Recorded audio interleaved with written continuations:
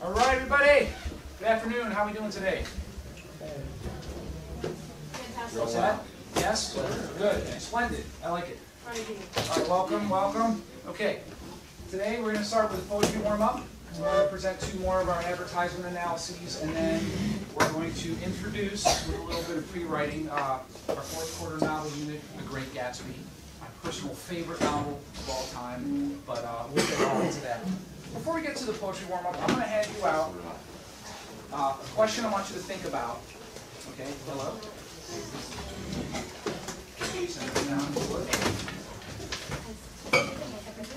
Okay?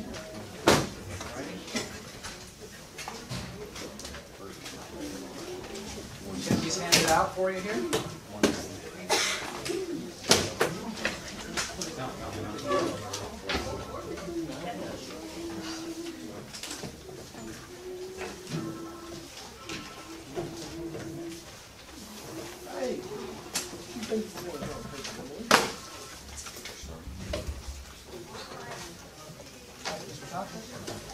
Yep. Uh, sure can. All right, bye-bye. Oh, Miss Palco. Okay. All right, so take this with you, okay, please, and you can bring it to me when you're done. All right, you know what, guys? I want you to think about this question now, and I'll collect this from you in about a half hour. And the question on the slip, okay, I want you to read this starter and fill in according to your own experience, your own experience and your own memories of your own lives. It goes a little something like this. In my younger and more vulnerable years, my blank gave me some advice that I've been turning over in my mind ever since. Okay, now I want you to think about who that blank, who would fit in there. Mother, father, sibling, friend. If you can't think of anything else, maybe you got some good advice from a movie or a TV show or from a book. Okay, anywhere you got a really good piece of advice when you were younger, I want you to think about what the source of that advice was and write that down in the blank. And then I want you to actually complete what I've started for you here. It says, whenever blankety blank, comma, just remember that blankety blank, period. Okay? So, I want you to just be thinking about that, and I'll, I'll collect this from you in about eh, half hour, something like that. Okay? Yes? Can I change up the words of this little? You can change it up a little bit if you feel the need. Yes. Okay? Everybody have one? Yes? Okay. So work on that. Just be thinking about that. All right? And I'll get them from you uh, in a few minutes. Okay, now, um, poetry warm-up. Let's see. Brittany. Okay, you haven't gone yet, right? No. So let's let's hear uh, a poem that you have prepared to discuss. Um, let's go to our poets.org website that we all went to. Okay. Yours was an occasion or a theme? Uh, it was in The occasion. And what was the occasion? um, gun violence. Gun violence. Okay. Or wait a minute. Uh, maybe it was. Maybe it was a theme. Maybe it was theme. Okay, let's look at theme.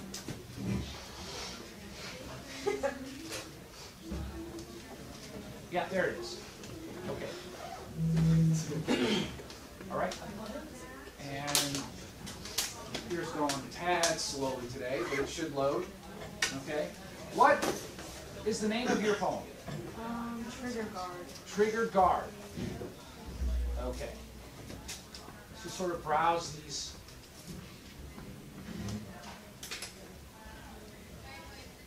Wow.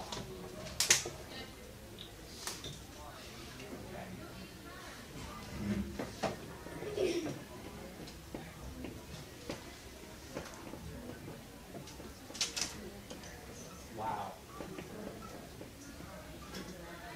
The titles themselves are very evocative, aren't they? Okay.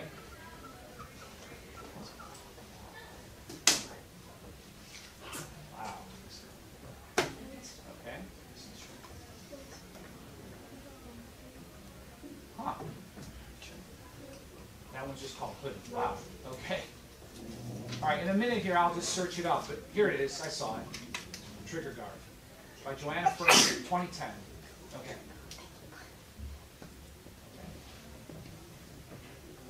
So we actually just had the, um, the 20th anniversary of Columbine. You guys familiar with what happened? Yeah, 1999. Um. Would you mind, Brittany, just reading this for us, and I'll scroll as you read, and then we'll hear what you had to say about why you chose it, and then anybody else can chime in about it as well. Okay? Trigger guard, Joanna Fuhrman. Everyone I ever loved was standing on a platform with a gun. In the cartoon version, a flag pops up with the word bang. Ah, In the soap opera version, my face turns the color of merlot. Merlot, it's a kind of wine. Yes. In the haiku version, metal gleams in the narrow shadow.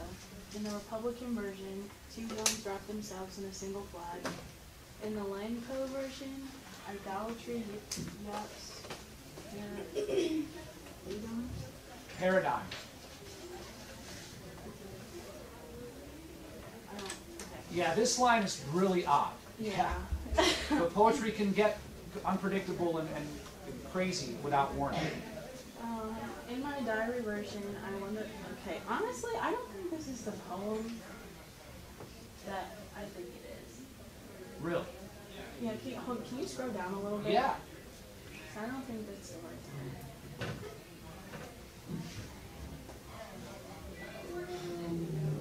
Maybe it is. Okay. Okay, maybe it is. In my diary version, I wonder why everyone hates me. In the indie film version, a gun flickers over a mumbled tune. In the Chekhov version, well, you already know. Chekhov was a Russian playwright. Go ahead. In the 10 o'clock news version, the crisis of violence is rising. In the action film version, a shot means profits are rolling. In the catalog version, the smoke's hue is a burnished moss. In the teen movie version, a nerdy gun removes her glasses. In the lucid dream version, a kiss is a kiss. I kiss a muzzle and it balloons. In the music video version, a gun turns into a mouth. Oh, that's it. And that's it. Okay. What's happening in this poem? What did, what did you write about your reaction to it? Um, I said it gives examples of how gun violence necessarily isn't the gun's fault, but like society's kind of, as we're exposed to it, like in cartoons or soap operas or like music videos and stuff like that. That's great. What are some other ways that you can think of that we're exposed to? And we're not here to argue about we should have gun control. I don't really want it to turn into that. Let's just appreciate the expression for what it is. We don't have to agree or disagree with it necessarily. Um, but what are some other ways that we're exposed to guns a lot from a very, very early age? Nerf guns. Yeah. Okay. Now we place them into the hands of very, very small kids. You know, um, it's kind of fascinating how. And if we talked about this in here before, I feel like maybe we touched on it. Yeah, it's almost like it's a throwback to when we were more warlike in uh, like primordial times, maybe when we had to fight for territory and you know we had to fight for every scrap of survival. Uh, maybe it's still sort of in us that we have to train ourselves for combat somehow. Like it's just sort of in our DNA somehow. Uh, so we just sort of give kids guns and things without even thinking about why are we doing this. Yes. Sure. Okay. Um, and then of course there's, and I know we've talked about what's the big hobby that a lot of teenagers love that have video games. Yeah, video games. I mean, you know, it's the vicarious sort of like you're not really shooting them, but you or pretend shooting them, and you know. So um, that second one, the cartoon version with the flag bang, like the Bugs Bunny cartoons. I mean, yeah. Um, all these different like what technique is the writer using? What technique is she using? The entire poem it almost started to get a little how did it start to feel? Repetition exactly. It started to become like this well why might she have used that technique? Any, any theories? What's the effect of that constant repetition hammering away. The problem won't go away. Yeah. Every time you turn your head, every time you get to a new stanza, you're expecting something different, maybe, but nope, you just get more of the same. Even though you're looking somewhere else, all right? Boom. Why don't you all, let's do this. Turn this on this blank side. Turn on the blank side. Okay? All right?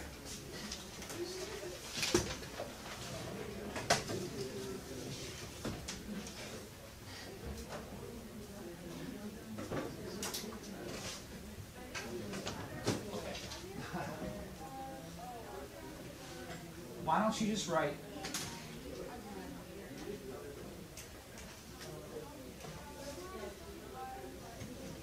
Why don't you add your own couplet? Add your own couplet. Just fill that in. Fill that in in your own way.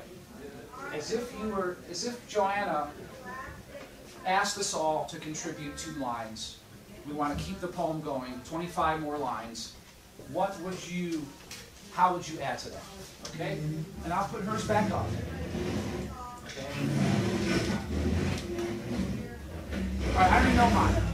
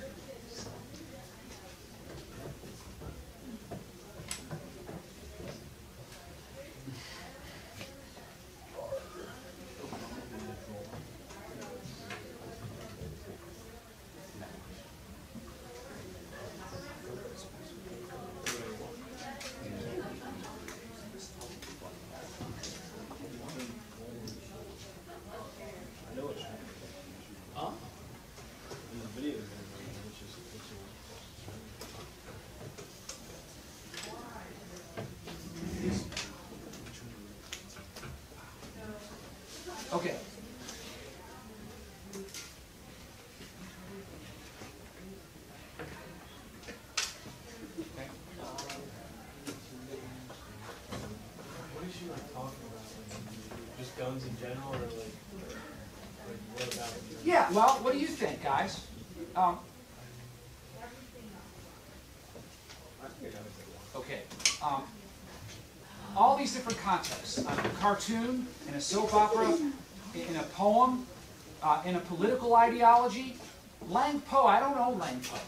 You want to look it up real quick? Let's look it up. I, I don't know that word. Does anybody know Lang Po? Um,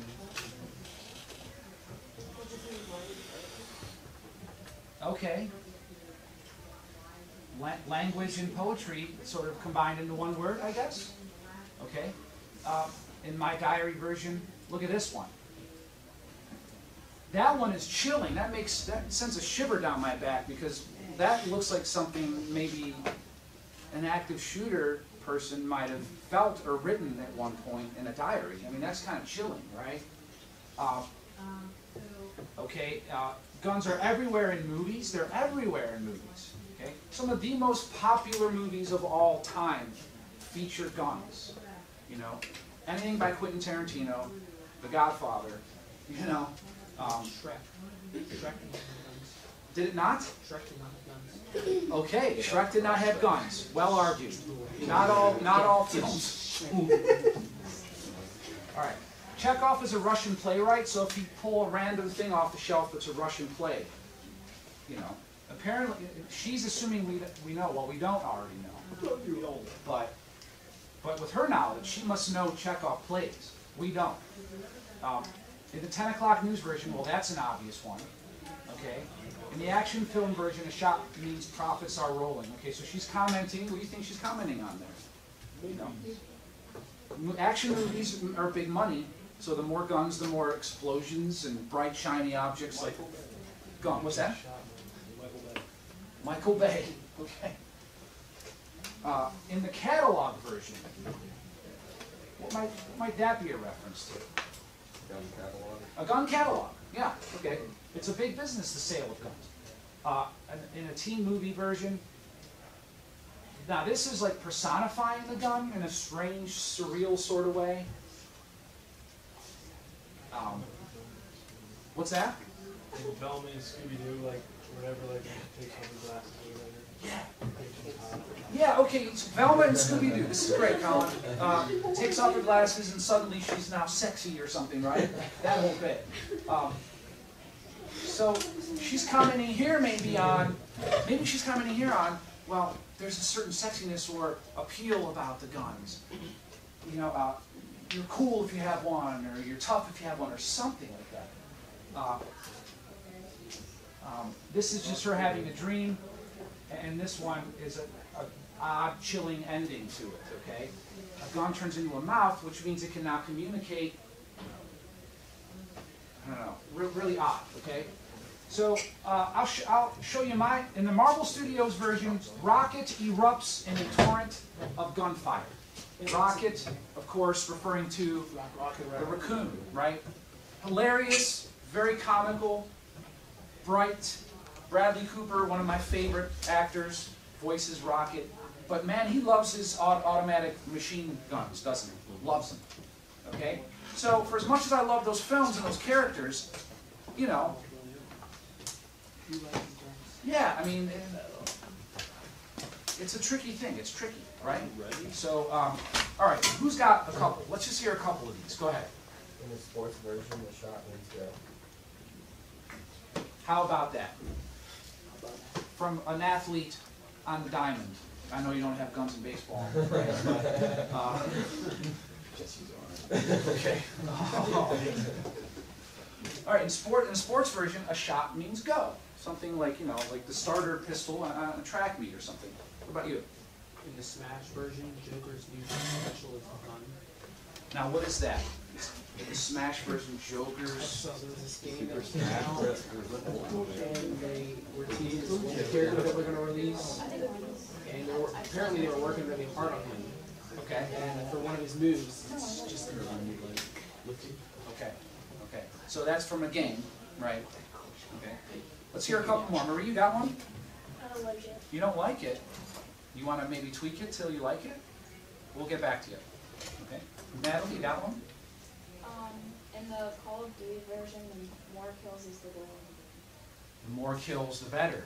Okay. And in the video game version, okay, there it is. I like it. Yeah, Natalie. In the sports version, I would be the final child picked for the team. Okay.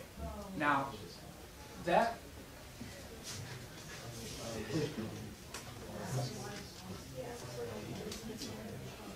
That, was that sort of based on that couplet up there, kind of a little bit? Okay. Um, all right. I see what you did there. Okay. Um, let's hear maybe one or two more. Go ahead, Cassie. In the Beatles version, I would be John Lennon. What? Oh my goodness, you did not just go there. What?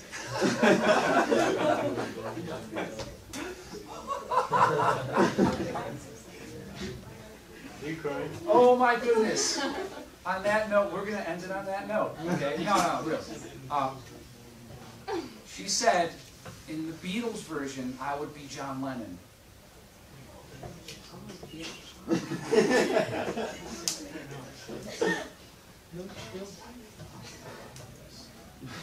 What a strange feeling I'm having right now. I'm like, it's like heartbreaking, but it's also warming my heart that you connected that in that way that you did. But it also breaks my heart at the same time. Like, see the power of poetry, guys? This is the power of poetry. Okay? Does anybody else want to share theirs before we move on? Anybody else? All right. Okay. Good job. All right. So that was our poetry warm up. Nice job. Okay. This, this, is, this is good. Now, I think we're going to move on to a couple of our commercials. Uh, Colin, if you, if you wouldn't mind hopping back to the podium there. Email it to you? Yes, please. Hi. Yep. I can do that now from my phone. Just do it this afternoon or something. Oops. Uh, I am already signed in as that, thank you very much. Here we go, here we go.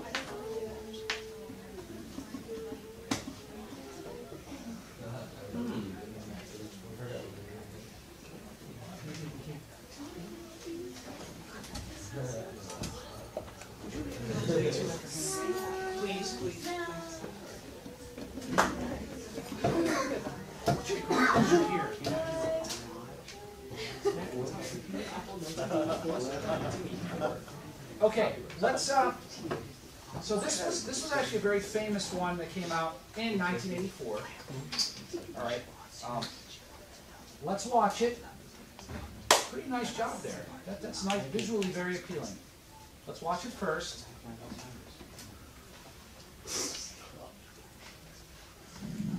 Today we celebrate the first glorious anniversary of the information purification directives.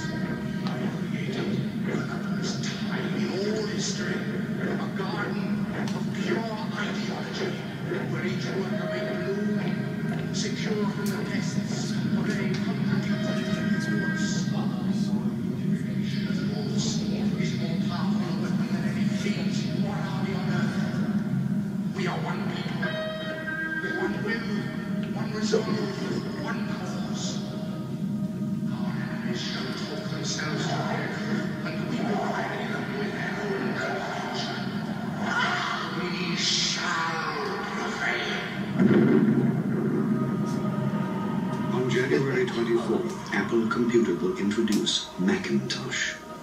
you'll see why 1984 won't be like 1984.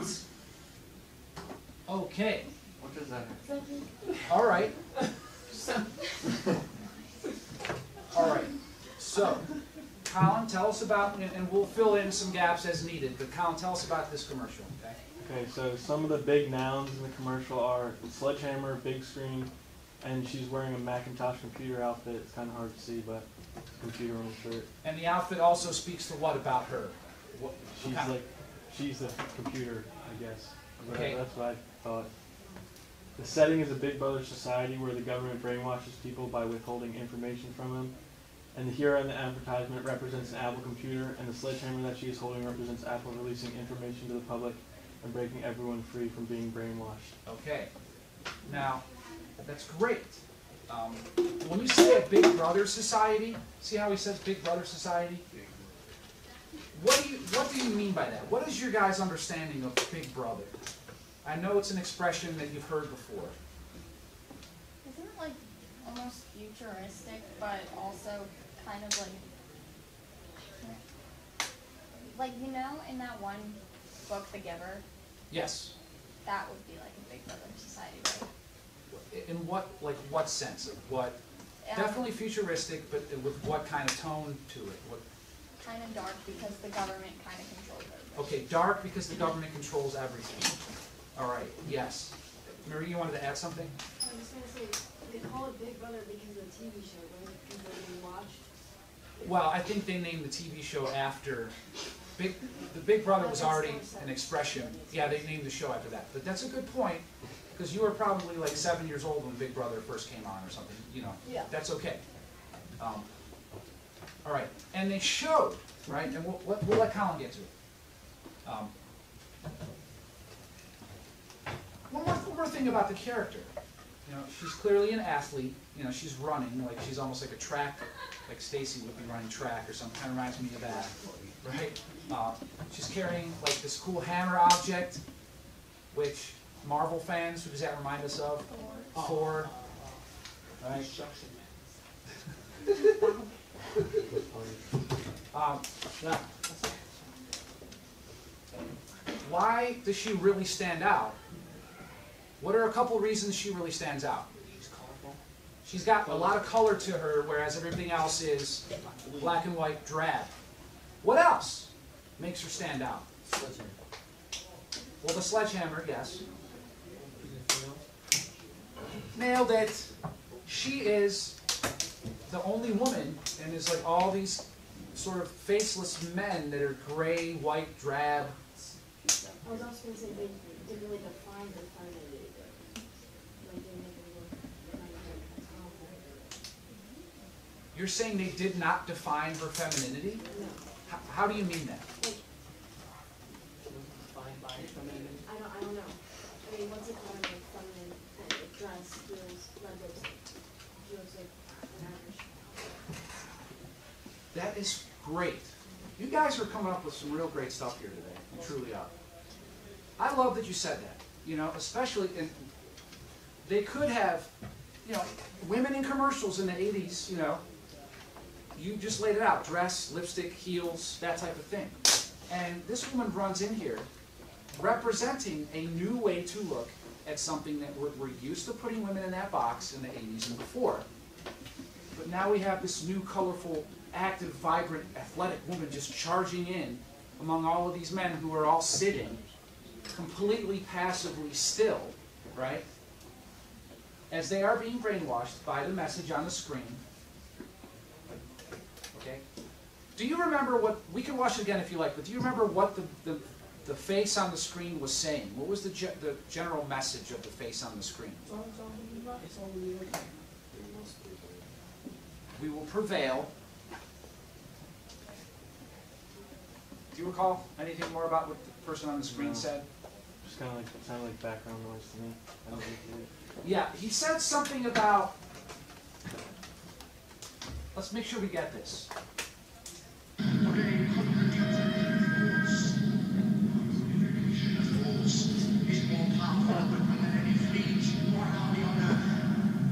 We are one people, with one will, one resolve, one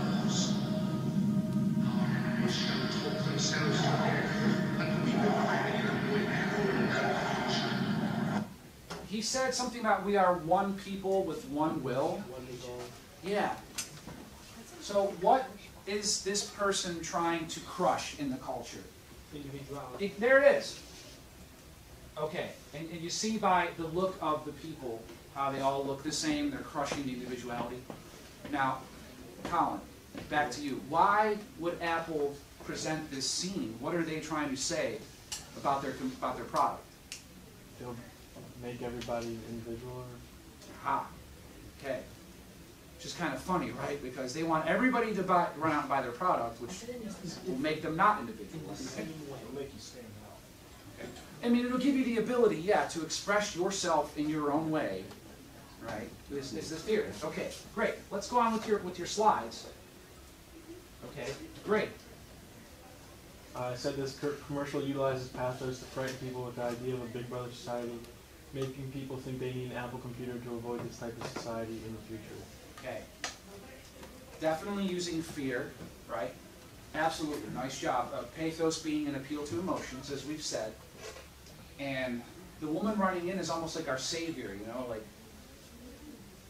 yeah, and, and she's dispelling this fear, you know, she's uh, eradicating the fear. Uh, the target audience was families, businesses, schools, and the general public. And the primary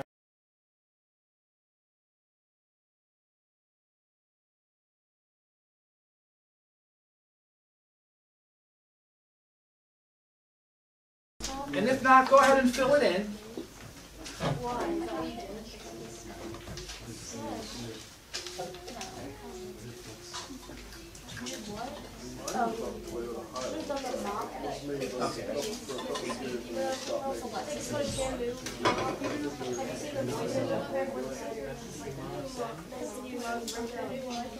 Okay, this is ready?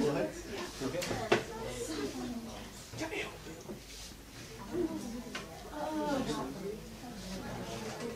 Yes, ready? Oh, okay, no, that's fine. Great, good. Twice. twice.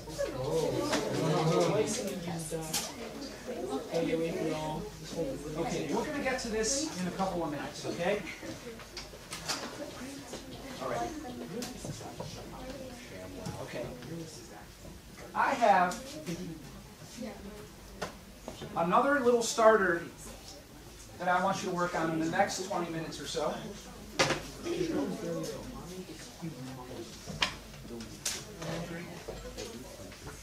Why don't we send it straight back? Straight back. Straight back, Cliff. Ryan, straight back, please.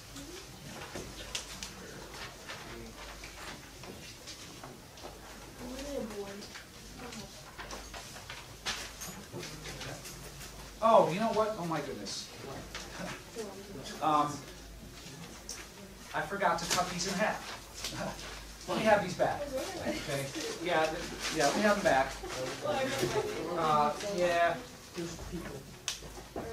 Doesn't matter, doesn't matter. It's all good in the hood, it's all good in the hood. We already passed just need to.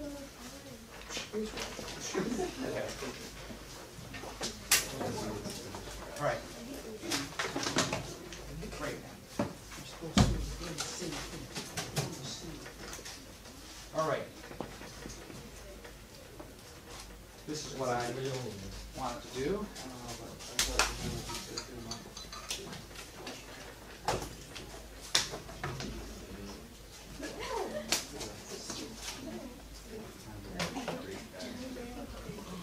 All right.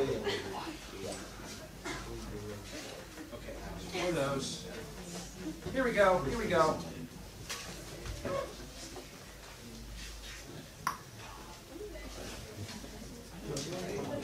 Um, let me get this started first, okay? So you hear the directions, okay?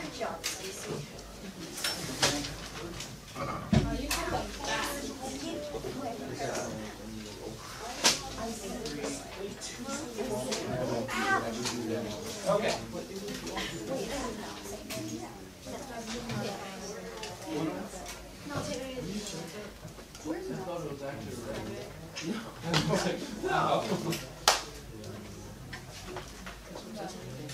Okay.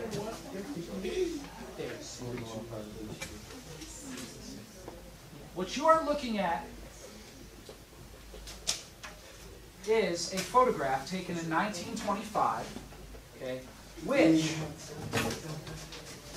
okay, 1925, guys, happens to be the exact year that The Great Gatsby was published, 1925, okay?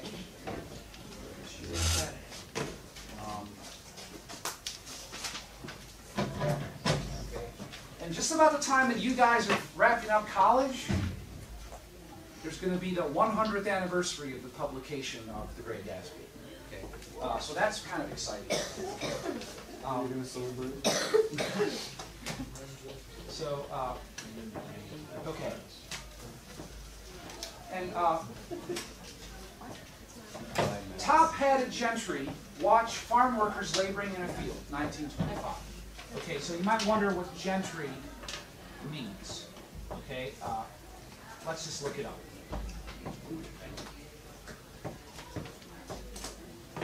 Okay. People of good social position, specifically the class of people next below the nobility in position and birth. So if you were in England, you would be like, it means that you like have, you know, your upper class, privileged. Look at the look at these synonyms. Upper middle class. Yeah, Oh, privileged, wealthy, elite, high society establishment. The haut monde, whatever that is, sounds French, right? The smart set, uh, upper crust, jet set, beautiful people, creme de la creme, the top drawer. Okay, all right. So, what you see. All right. On your activity, guys, you see um, a couple of bubbles, let's call them, like in the spirit of comic books. Which, and by the way, you know, tonight is a, a very, very huge moment in my life. Um, when I was like seven or eight years old, uh, I have I have a brother who's 12 years older, you know, and uh, he had in the basement a stack of Marvel comics from like the 60s and 70s, you know, and I was a little kid in the 80s. So these comics were already old, and they already had that old comic book smell, and you know they were in various conditions. Some of them were all like you know tattered up, and some of them were in pristine shape, and um, and I, that's how I fell in love with reading, and my imagination started to blossom at that young age because of Marvel Comics. So tonight is not only the end of an 11-year story arc of films, it's also a culminating point in my entire life, from when I was that little kid. And it's time for the big end game scene. So, do you know the difference between those two types of bubbles? Yes. The hard-edged one and the soft bubble Saying one. and thinking. Exactly. Right. I want you to fill in. Oh!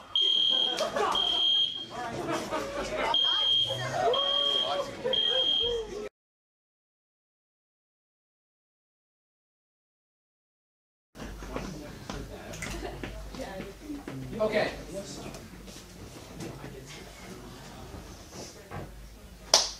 Let me ask you a couple of questions. Has anybody in here ever read this book before, The Great Gatsby? You have read it. Was it half of it? Is that for school or just on your own? or-. On your own? My brother was reading it. Okay, okay. Uh, I'm just curious, out of curiosity, you stopped halfway through, just wasn't grabbing you, or you got sidetracked, or? I got sidetracked. Got sidetracked. Okay, all right. Uh, no, that's great, I appreciate it. All right, now, another question. How many of you have seen a film version of this? Okay. Yeah, there's like, there's three modern versions. There's a 1974, a 2000, and a 2013, I think was the last one. That's the one on the other. That's the most recent one. Okay. Now, most of you probably don't have much of a sense of the book, having not read it, or maybe you saw the film and, okay, maybe you haven't. Let me ask you, based on that cover, do you want to make any, what, what kind of book do you think it's going to be based on the cover? Somewhere in New York. Why do you say New York? Lights. Okay, so you see buildings and bright lights and you think of New York City. Okay. Ryan says Vegas. Okay, that's an interesting, that's an interesting alternative guess. Does anybody, does anybody want to give us a historical reason why Vegas would not be? It didn't exist as we know it in 19, yeah, in 1925. It didn't exist as we know it. It was just uh, It was a desert. and I'm quoting, the- I'm quoting The Godfather. It was a, a desert stopover for GIs on the way to the West Coast. Okay? Yeah. That, that's exactly how the guy says it, yeah. You say Jersey. What makes you think of New Jersey? Oh, you're pulling out the F. Scott Fitzgerald bio- biographical information. You went to Princeton, you say. Yes, you did. You did. Um, and also, like Atlantic City was a big sort of. It had like, uh, almost looks like. What does that look like? Ferris wheel. Like a Ferris wheel. Now, who's familiar with in New York City? Coney Island. Coney Island is correct. You got it. Coney Island. Very good. What about this top part? Uh, well, that's just some lady. Just some lady. Okay, let's start there and we'll work forward. Is she Gatsby Liberty. Say it again. The Sheep Gatsby. Is she Gatsby? No, it's not. It's a name of a character, yes. So you're, okay. That's fascinating how Ga- you can't tell the gender from the word Gatsby. That's kind of interesting. Is it a guy? Well, we'll, we'll find out, won't we? We shall find out. That's a yes. That's a Well, I'll give you, a, I'll give you a clue. What's the last letter in Gatsby? Why? And think chromosomal, chromosomes. Tell me why. There's your answer. Okay. What? What's with the face? Specialist. Expressionless. Did you say expressionless? Yeah. No nose. Is that one I'm supposed to be? Okay. Expressionless, no nose. Is that what you say? Is that like under the eyes? That's supposed to be there. That yellow. Okay, what does it look like? It looks like a tear, doesn't it? Now, in this particular rendition, it looks almost like a green slime or acid color. Uh, I'm not sure, because if you look at my edition, It looks like a firework going out. my edition, uh, it's a lot whiter, the tear. And then, sorry about the lighting, but the tear's a lot whiter. Um, like. Yeah, like neon. That's good. The brightness. And what do we know about neon? What kind of light is neon? Xenon. I like that. We were just outside, and a, one, and I brought my camera because it's a wonderful source of what? Bright light. What kind of light? Natural light. What kind of light is neon light? Electric. Neon. Light. It's electric. Unnatural. Unnatural or What? Artificial. Artificial. Okay. Now, think about this. An expressionless face crying a potentially artificial tear. Think about that. Let, let that sink in a little bit. Okay? Um, there's no real sense of emotion on the face, and it lacks a nose. Remember that. Okay? What do we associate noses with? Smell. Um, where in the animal kingdom are noses especially more pronounced? Dogs. Yeah, bears. Where else? Bears. Elephants. Anteaters. Okay, so the nose is a very visceral sort of like of the earth, of the soil, of the animal kingdom type of a construction. We have an, sort of a dreamlike, like it's like this face hovering in the night sky, almost as if somebody is what? Ing. Somebody is blanking that face. Dreaming. Dreaming it. You are destroying today. You are. all right, keep all that in mind. Those of you who have, who, those of you who know the movie, have seen the film, you sort of can get a sense of what I'm driving at. If not, get ready for like one of the most heartbreaking love stories. It's, but there's so much more to it. It's more, it's so much more than that. I just say, like, if you subtract the nose from the equation of eyes and mouth, it kind of makes it like anonymous. An- anonymous. Yeah. Interesting. So you're saying that the nose really gives, pr- uh, pronounces a person's appearance. Yeah. But removing the nose, that's very interesting. Yeah. Wow. Reminds me of Mr. Potato Head. Remember those? It, does remind a little bit of Mr. Potato Head going on there. Uh, okay, so that's just a little uh, pre-thinking about that. Now that we're all back from the fire drill, back to this image. Oh yeah, let me pull up the camera version. I would like you guys to, to write down what do you think the wealthy elite would be saying out loud? Just speculate. What would be natural for them to be saying? Okay, and then what would the working class people all bent? See that guy bent over there? You know, it's symbolic of his back is bent with the, the, the burden of his work, you know, that type of thing. While these guys stand straight with their canes and their hats, all straight lines. And the workers are crouched over and bent. You know, like there's a lot, of, lot, lot happening in this photo. Um, what would, what would make sense for them to be saying, but then what would make sense for them to be thinking? Now, why do you suppose I did it this way? Why do you suppose I, I put these guys saying it out loud and over there just thinking it? Go ahead. Make sure you say what they want. Go ahead. What's that, Carl? Because the people on the left can't really say what they want to. Do. Why can't they? Yeah. You're right. Why can't they? Because the people to the right are like over them. Over them. Yeah. Yeah. You know, um, they're the waistcoat crowd, right? They're, they, they fling their, their tuxedo tails wherever they want, and they, they don't necessarily care about the ramifications. You know, so um, now you can fill this in. Maybe they're talking to each other. It kind of kind of almost makes more sense that they would just talk to each other. Why does that make more sense? Because they wouldn't go outside their social group back then. They wouldn't go outside their social group. From, from the mouths of babes, as the Bible says, or from the mouths of children shall come wisdom, shall come the truth. Okay, remember that. Remember what she just said. Okay? Um, what'd you say? The old sport. Okay, so you definitely have read some of it. Um, so they're probably going to be speaking amongst themselves to stay within their social class. They're not necessarily going to be addressing,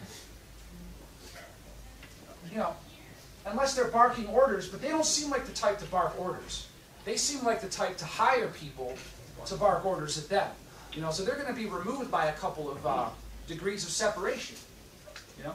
So fill that in with a couple, go ahead and do that now, okay? Go ahead and do that if you would. Okay, maybe a little more. Okay?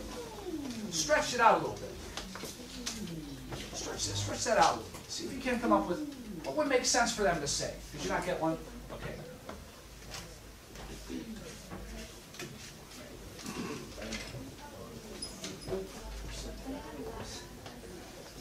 Okay, good. Did you happen to fill this in yet? Okay, go ahead and do it. Both of you could. Uh, yeah, these are the two um, preliminary sort of warm-ups before we really get into the text. Um,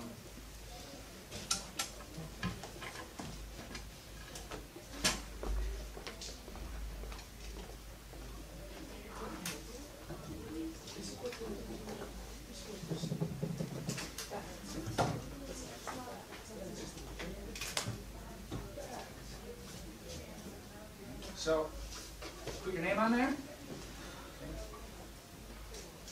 If you're feeling done, you can sort of hold it up. Cool.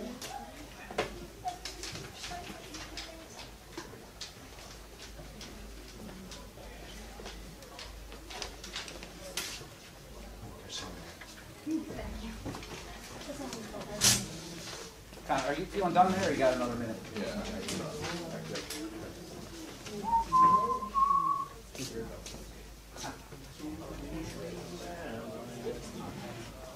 Cool. All right.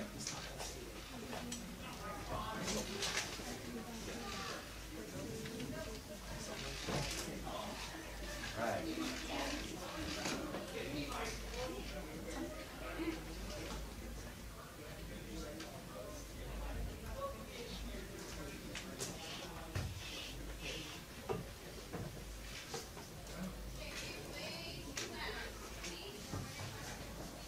Cool.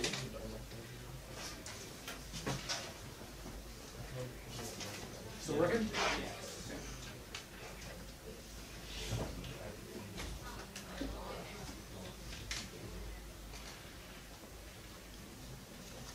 All right, you know what? About six or seven or eight of you are still writing. That's that's great. Keep it going. I just sort of want to. Um, could you turn the bottom light on switch for me? The, the bottom switch. Okay. Yeah, this this camera works a lot better with light. With light. Thank you. Uh, Great. Thanks. Matt, were you done with yours there? Can I have your?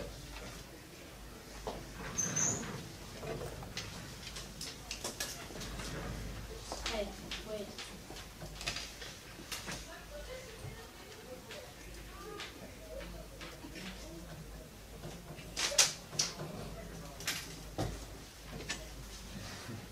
Thank you.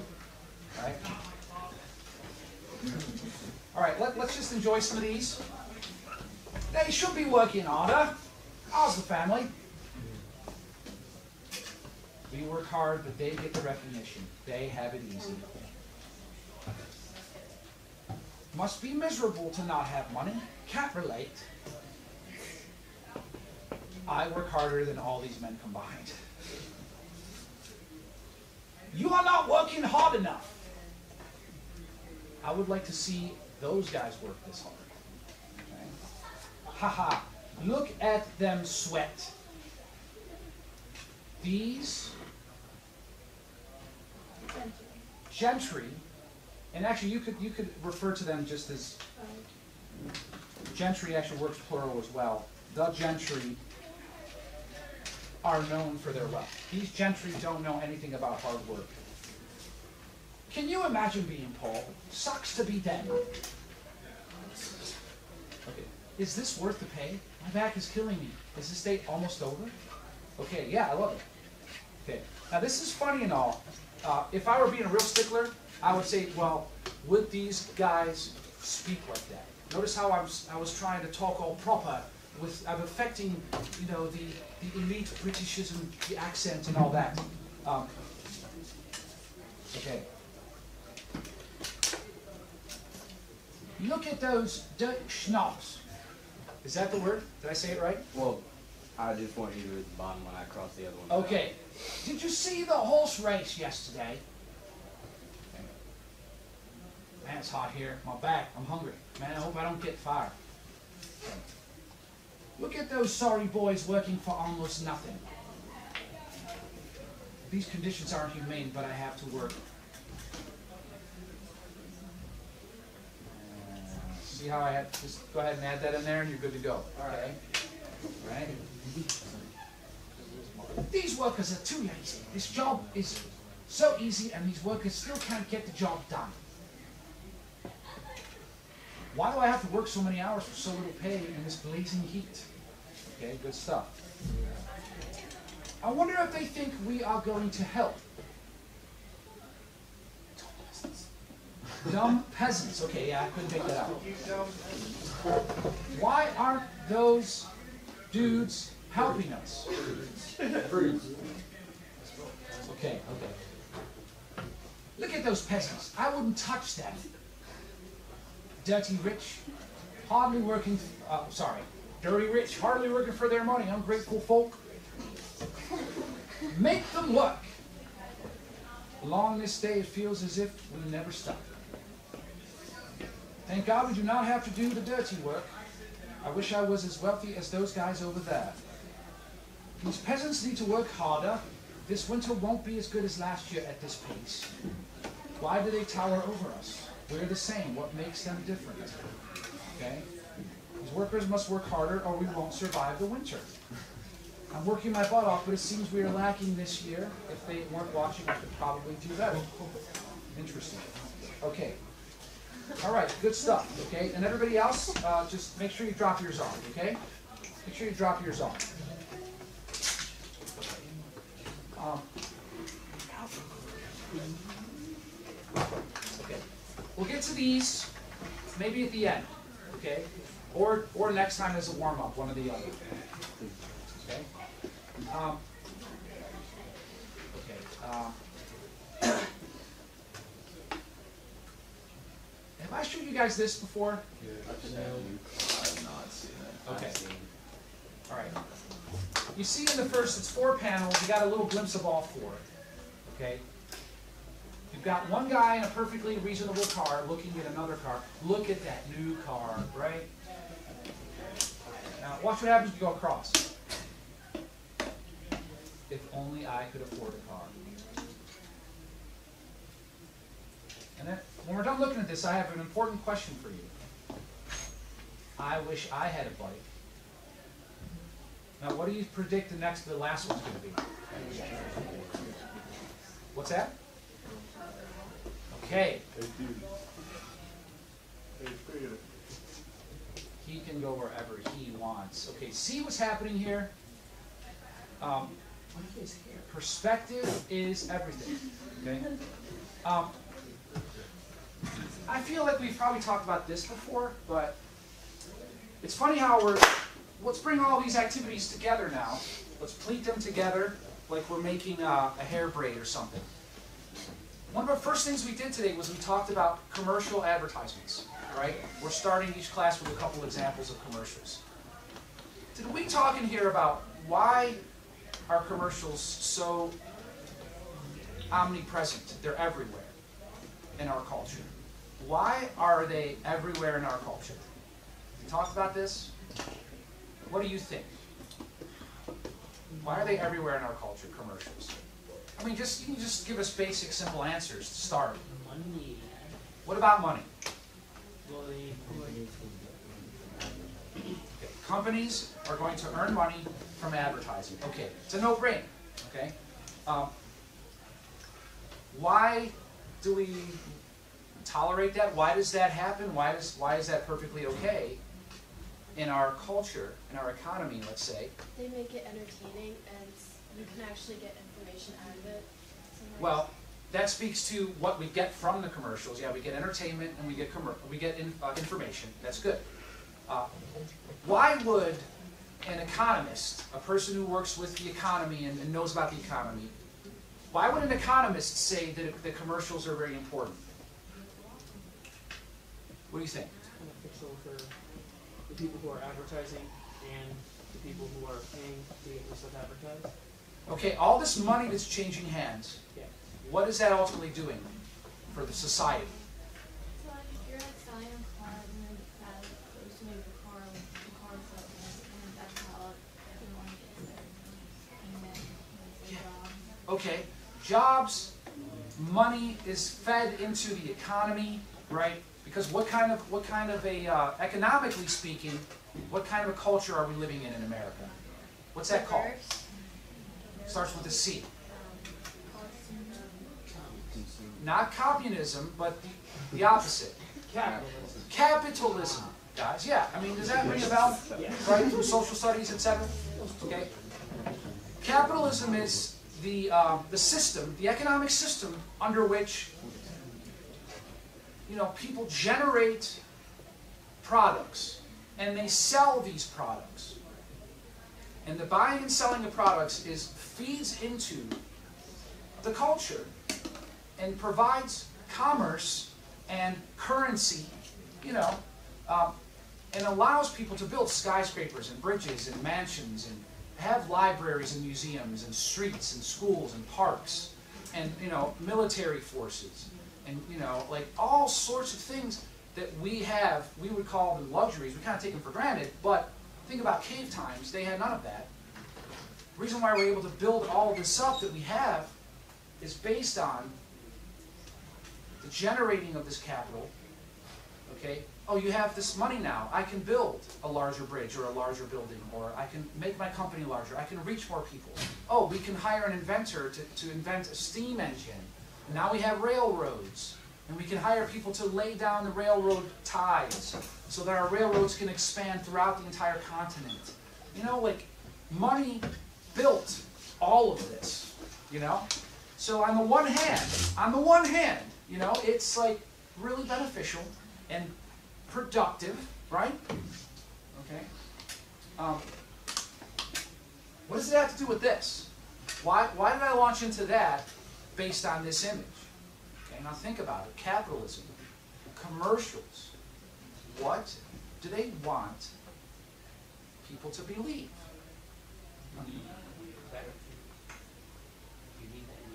Okay. So that, that they want always want the next better thing that you need that new be, next best thing. Notice that word need. Notice that word need okay? Okay do i really need an iPhone? What's the newest number? Xr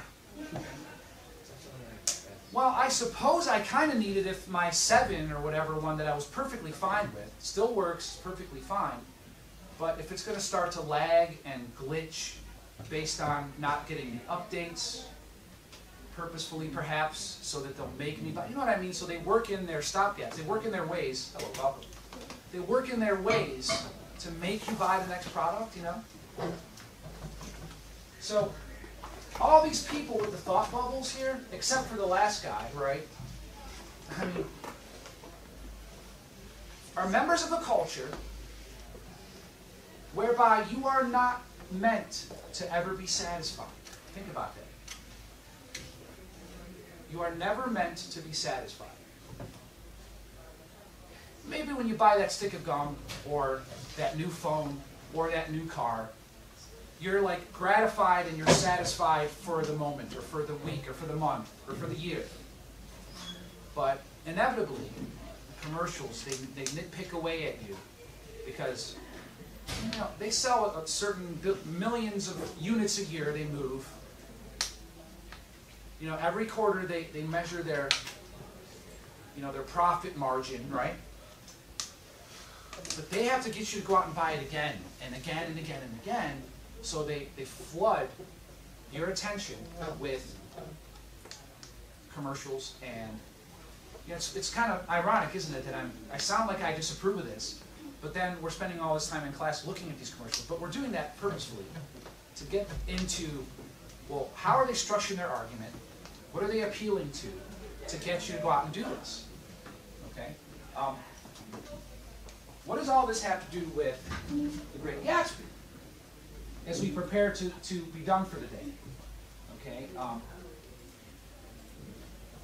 well, tied in with the Great Gatsby is, you know, the thing about the Great Gatsby, it's highly considered to be the great American novel.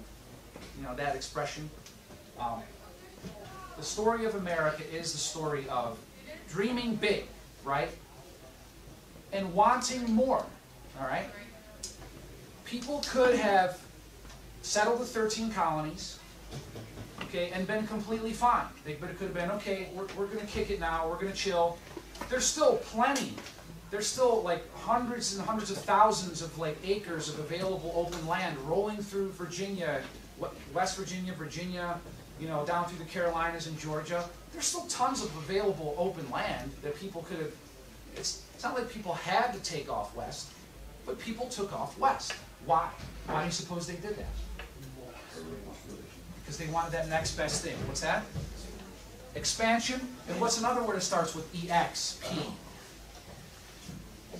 Exploration. Yes. Okay. When you get situated in a, a certain life, right? Okay. Now what?